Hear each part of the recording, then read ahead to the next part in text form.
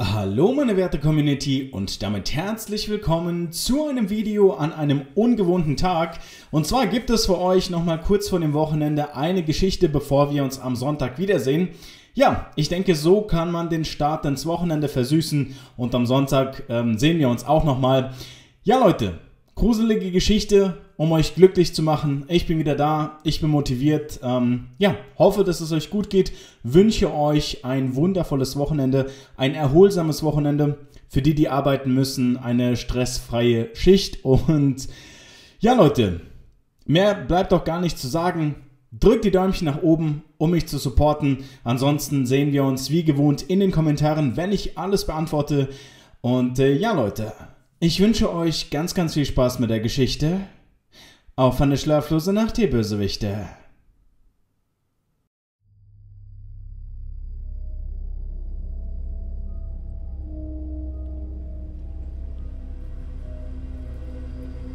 Ich hätte nie gedacht, dass ich die erschreckende Realität aufdecken würde, die ich erlebt habe.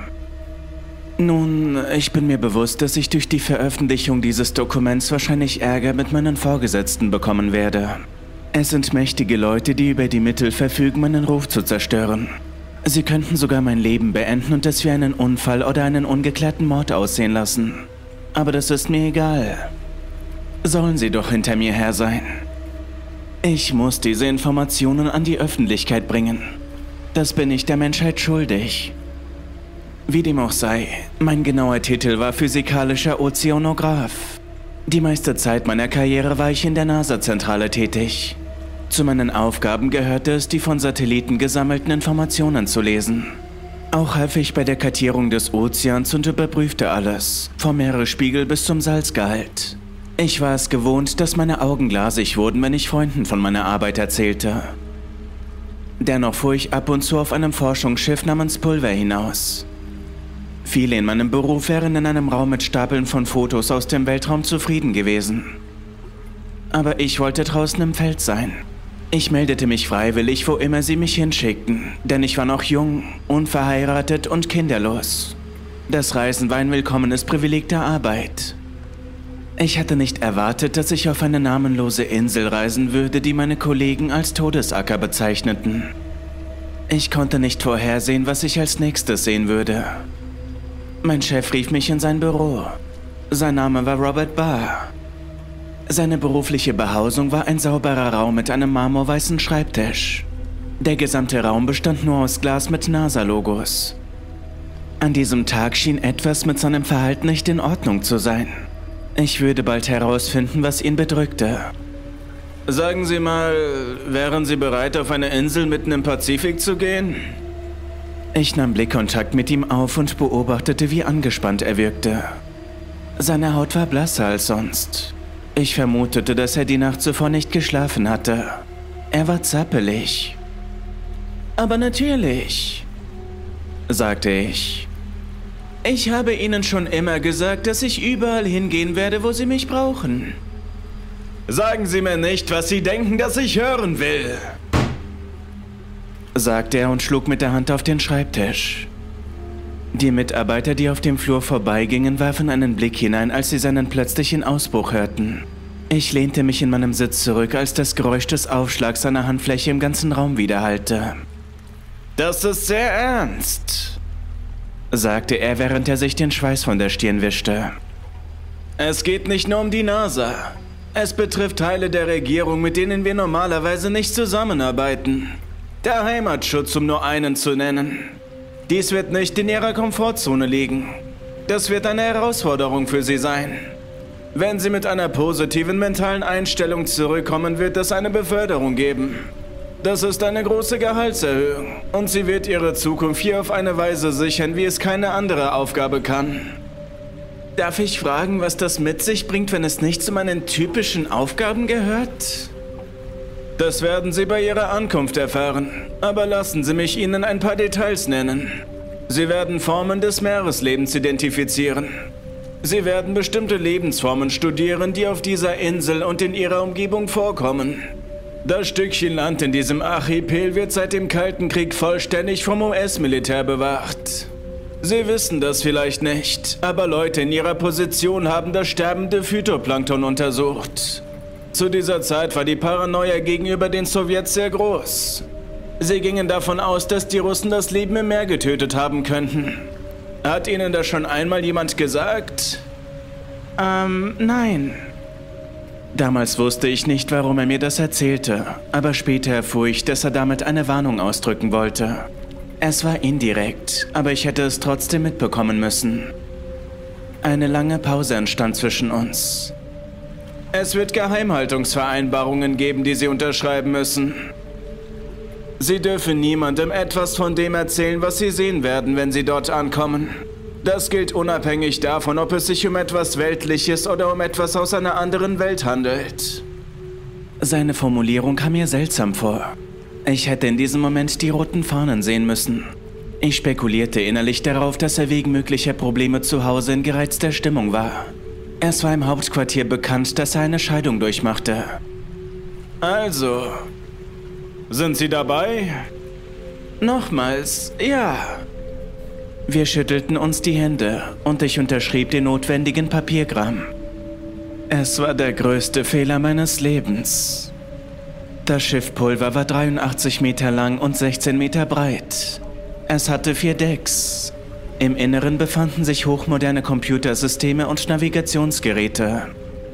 An dem Tag, an dem ich das Schiff betrat, sah ich zwei andere Besatzungsmitglieder. Er war Kapitän er war ein erfahrener Seemann, von dem ich wusste, dass er einen umfangreichen und beeindruckenden Hintergrund bei der Marine hatte. Sein Name war Hugh Rockwell. Der zweite war ein Mann, den ich schon einige Male getroffen hatte. Teddy Strickland. Er lächelte und versuchte mir einen freundlichen Klaps auf den Arm zu geben. Ich habe die Wärme nicht erwidert. Tatsache ist, dass Strickland in der Gemeinde gut bekannt war, aber nicht auf positive Weise. Er ist ein Pseudowissenschaftler. Er glaubte an New Age-Konzepte. Das garantierte ihm die Aufmerksamkeit auf dem History Channel. In den ausgefalleneren Dokumentarfilmen, die Kiffer gerne sehen, war er im Abspann zu sehen. Er war nicht als zuverlässige Quelle für Innovationen in unserem Bereich bekannt. Strickland konnte sich nur dadurch Geltung verschaffen, dass er eine Art One-Hit-Wonder war. Er baute ein spezielles Gerät, das bei der Partikelentnahme half. Diese Erfindung war damals für viele von uns eine große Hilfe. Ich konnte allerdings nicht verstehen, warum man mich mit ihm zusammenbringen wollte. Das ärgerte mich. Im nächsten Moment zwang ich mich zu einem Lächeln und versuchte mich daran zu erinnern, dass ich nicht zu eng mit ihm zusammenarbeiten musste, denn ich konnte mein eigenes Ding am anderen Ende des Schiffes machen. Ich würde mich in meiner Kabine einschließen und auch ohne seine Einmischung nützlich sein. Sobald wir auf See waren, ging ich auf eines der Decks und stützte mich mit den Ellbogen auf die Reling. Das schimmernde Leuchten des Wassers im Licht der untergehenden Sonne ließ mich in Ehrfurcht erstarren. Das Plätschern der Gehzeiten erinnerte mich daran, warum ich mich entschieden hatte, dies zu meiner Lebensaufgabe zu machen. Sie hätten Fische werden können, wenn sie den ganzen Tag auf das Meer hätten starren wollen, sagte Strickland. Er grinste breit und stieß mich mit dem Ellbogen in die Seite. Wir waren noch nicht einmal eine Stunde vom Steg weg gewesen. Und nach diesem Satz stellte ich mir vor, ihn über Bord zu werfen. Ich sehnte mich jetzt schon danach, ihm beim Ertrinken zuzusehen, während ich auf ihn zeigte und über seinen einsamen und langsamen Untergang lachte. Kommen Sie mit mir rein, sagte er und deutete auf die Mittelkabine. Ich muss Ihnen ein paar Bilder zeigen. Sie wollten, dass ich es tue. Ich betrat den Raum nur widerwillig. Verrostete und verfaulte Kompasse säumten die Arbeitsflächen. Auf einem Tisch lag ein Stapel Papiere. Bei näherer Betrachtung sah ich, dass es sich um schwarz-weiße Luftaufnahmen handelte. Sagen Sie mal, was ist an diesem Foto so bizarr? Als ich es gegen das Licht hielt, sah ich die Anomalie, auf die er sich bezogen hatte. Es war ein Bild von einem flachen Teil des Ozeans in der Nähe der Insel. Doch da war etwas unter dem Wasser, nahe der Küste. Es hatte die Form eines Gesichts. Es hatte gezackte Zähne und Augen, die dreieckig geformt waren. Ist das nicht seltsam?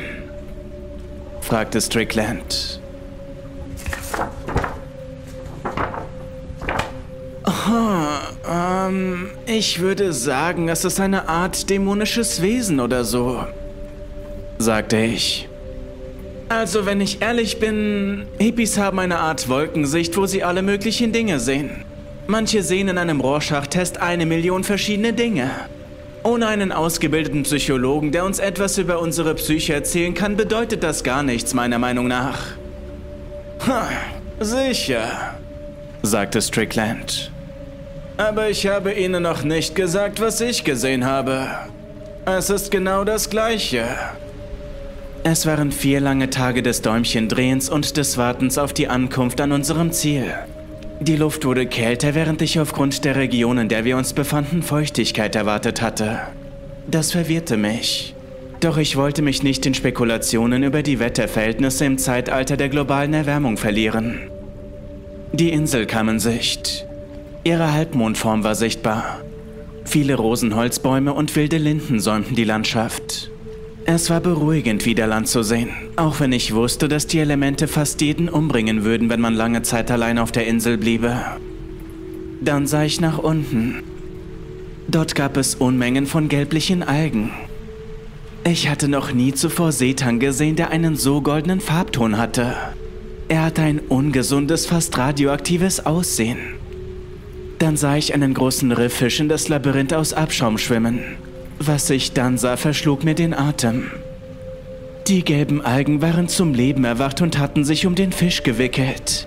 Es war, als hätte die Alge ein Bewusstsein und wäre eine Art Wesen mit scharfen Tentakeln.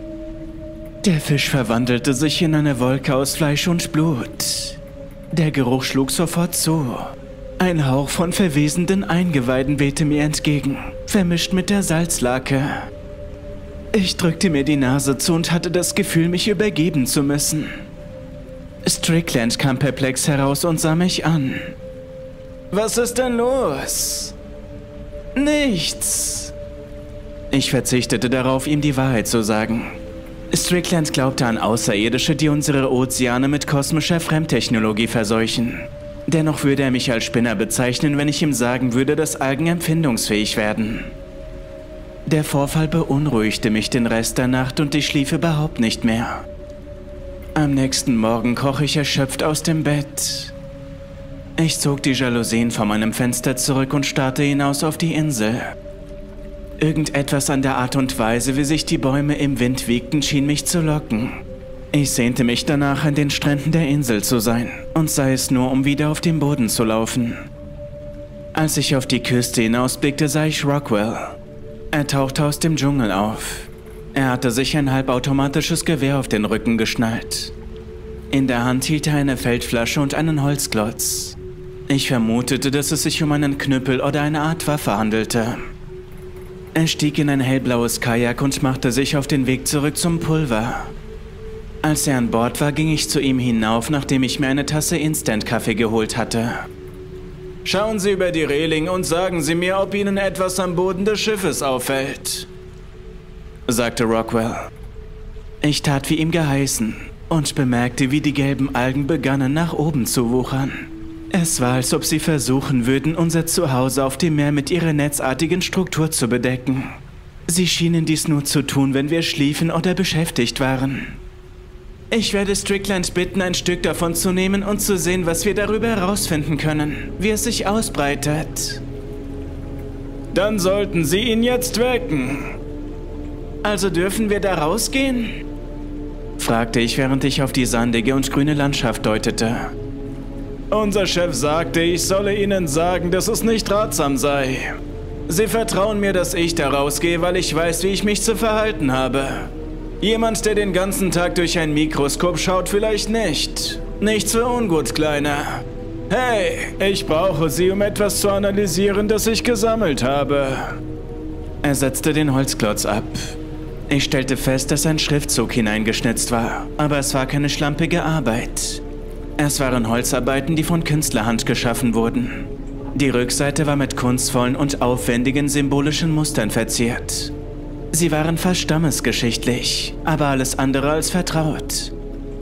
Das einzige Wort auf der Vorderseite war Englisch oder Spanisch. Ich hatte es noch nie gelesen. Dennoch erinnerte es an etwas aus dem Lexikon, über das ich vielleicht schon vor Jahrzehnten gestolpert war. In Großbuchstaben lautete es Carcosa. Oben und unten umrahmten violettblaue Kristalle das Wort, die im Holz steckten. Sie schimmerten im Licht der aufgehenden Sonne. In diesem Moment hörten wir den Schrei.